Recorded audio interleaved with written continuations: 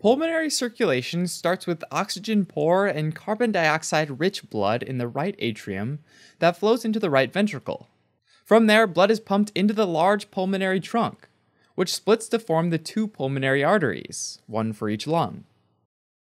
The pulmonary arteries divide into smaller arteries known as pulmonary arterioles, and then eventually into pulmonary capillaries which surround the alveoli which are the millions of tiny air sacs where gas exchange happens. At that point, oxygen enters the blood and carbon dioxide enters the alveoli. The pulmonary capillaries drain into small veins known as pulmonary venules that flow into two pulmonary veins exiting each lung. And these pulmonary veins complete the circuit by delivering oxygen rich and carbon dioxide poor blood into the left atrium which flows into the left ventricle and then into the aorta where it enters systemic circulation. Normally, about 2% of the blood follows a slightly different path. It's diverted or shunted so that it bypasses the pulmonary capillaries. And this is called a physiologic shunt. There are two main ways this happens. First, when blood goes out to the heart muscle itself, it returns through tiny veins called Thebesian veins. Rather than draining into the venous system and going into the right atrium, these veins sometimes dump that blood into the closest chamber of the heart. So, for example, if blood that goes out the aorta and through the coronary arteries to the muscle in the left ventricle of the heart, then the deoxygenated blood might then drain directly into the left ventricle chamber of the heart. At that point, it would mix with the rest of the oxygenated blood and get squeezed right back out through the aorta. So, this blood basically bypasses the pulmonary circulation.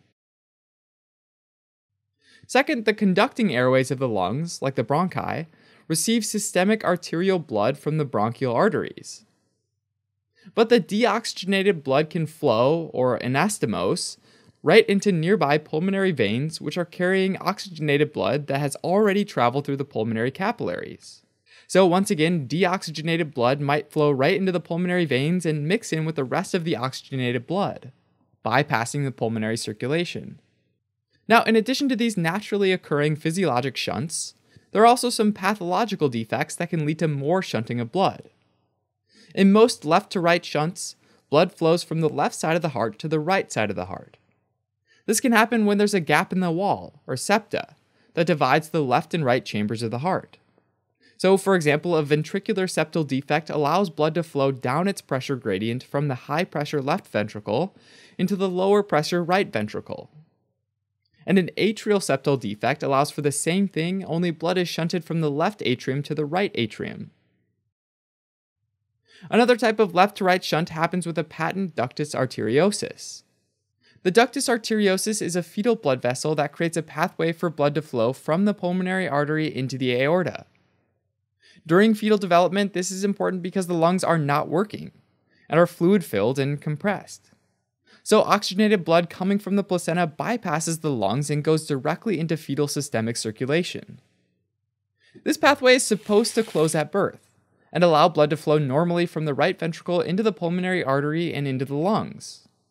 But in some babies, it remains open or patent, and that allows blood to flow from the high pressure aorta into the lower pressure pulmonary artery. The end result of any of these left to right shunts is that oxygenated blood is making a second loop through pulmonary circulation, which means that the right ventricle is doing a bit of extra work, moving blood around that's already oxygenated. On the flip side, in a right to left shunt, blood flows from the right side of the heart to the left. Normally, this wouldn't happen, because blood would not want to flow up its pressure gradient. But right to left shunts typically involve changing pressures in the chamber of the heart, which reverses the gradient. So, for example, in the congenital heart condition called tetralogy of Fallot, there's a large ventricular septal defect and stenosis, or narrowing, of the right ventricular outflow tract into the pulmonary artery. The right ventricular outflow tract stenosis increases the resistance to blood going into the pulmonary circulation, and that increases right ventricular pressure, if the right ventricular pressure exceeds left ventricular pressure, then blood can flow down the new pressure gradient, and a right to left shunt happens. Another example is Eisenmenger syndrome, which is caused by pulmonary hypertension. Basically, what happens is that pulmonary hypertension, which can result from a left to right cardiac shunt, can get so severe that the pressures on the right side of the heart exceed the pressures on the left side, leading to a right to left shunt. Ultimately, in a right to left shunt, oxygen poor and carbon dioxide rich blood mixes with the oxygen rich and carbon dioxide poor blood that's already gone through the pulmonary circulation.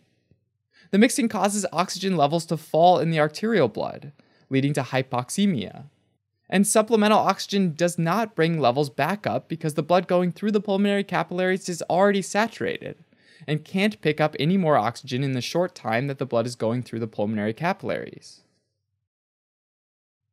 On the other hand, if there's even a slight rise in carbon dioxide levels, it's detected by central chemoreceptors in the brain, which promptly increase the respiratory rate. Carbon dioxide in the alveoli and blood equilibrates about 20 times faster than oxygen. So, unlike oxygen exchange, which is physiologically maxed out, any excess carbon dioxide can quickly diffuse out of the blood and return to normal physiologic levels. In fact, it's the decrease in oxygen levels that can actually be used to calculate the amount of blood flow through the shunt, in liters per minute, using the shunt fraction equation. Mathematically, if the total amount of blood flow, or cardiac output from the left ventricle, is QT, then it equals the amount that's shunted, or QS, plus the amount that goes through the pulmonary capillaries, or QC. Based on this, the shunt fraction is the proportion of blood flow through the shunt over the total blood flow. Similarly, the oxygen content in the cardiac output, which is the arterial blood, or CaO2, is equal to the oxygen content of the blood flowing through the shunt. And remember that it's venous blood that's diverted through the shunt, or CVO2, plus the oxygen content of the blood flowing through the pulmonary capillaries, or CCO2. Now, the more blood flow, the more red blood cells there are to carry oxygen. So, oxygen content is affected by blood flow. And we can multiply QT by CaO2, QS by CVO2, and QC by CCO2. Now we can arrange the total blood flow equation to substitute QC with QT minus QS. Now, the goal is to solve for QS divided by QT. So we can first distribute CCO2 to get QT multiplied by CCO2, minus QS multiplied by CCO2. Now let's get all of the QS parts of the formula on one side of the equation, and all QT parts on the other side. Next, we can factor out QS to get QS times CCO2 minus CVO2, and do the same thing to QT to get QT times CCO2 minus CaO2. Now we divide both sides of the formula by qt, crossing it out from the right side, leaving us with qs times cCO2 minus cVO2 divided by qt. And then divide again by cCO2 minus cVO2 on both sides to get rid of it on the left side. So we're left with the shunt fraction equation, qs divided by qt. The numerator has cCO2 minus CaO2, which is the oxygen content of the blood flowing through the pulmonary capillaries minus the oxygen content in the arterial blood. That difference represents the oxygen poor CVO2 blood coming from the shunt and mixing with the oxygen rich CCO2, thereby causing CaO2 to fall. And the denominator is CCO2 minus CVO2, the oxygen content of the blood flowing through the pulmonary capillaries minus the oxygen content of the venous blood. This value isn't affected by the shunt at all, since oxygen rich CCO2 and oxygen poor CVO2 blood coming from the shunt represent values before the two get mixed together. Alright, as a quick recap. A shunt is a rediversion of blood from its usual path through the pulmonary circulation. Shunts can be physiologic or pathologic. They can also result in a left to right or right to left diversion of blood across the heart. The amount of blood that flows through a right to left shunt can be calculated using the shunt fraction equation, which is based on oxygen content of the blood.